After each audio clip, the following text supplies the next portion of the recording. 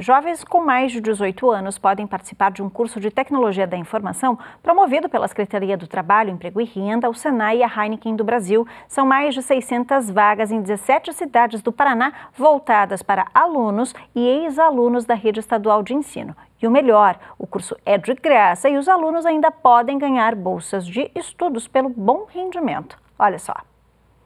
Postagens, likes, vídeos que viralizam. O que parece apenas diversão pode se transformar em carreira.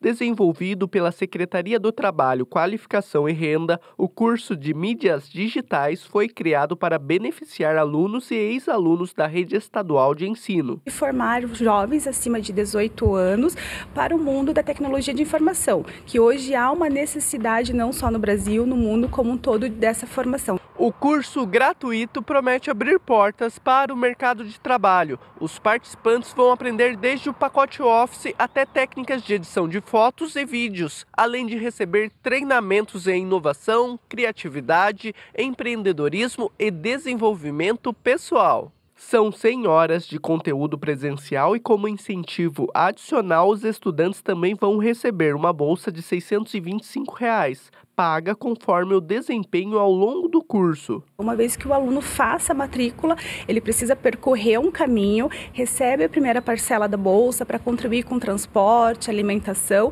e a, quase ao término do curso, que é um curso de 100 horas, ele recebe o restante da bolsa. No total, serão formadas 30 turmas. As inscrições serão abertas em breve. Os interessados devem ficar atentos aos canais de comunicação da Secretaria do Trabalho, Qualificação e Renda e também das escolas estaduais. Vai acontecer em mais ou menos 17 localidades no estado do Paraná e a gente quer ofertar essa bolsa justamente para que os municípios limítrofes aos municípios maiores que nós estamos ofertando o curso também possam vir e participar e ter essa oportunidade de formação para complementar seu currículo profissional para melhores oportunidades de trabalho.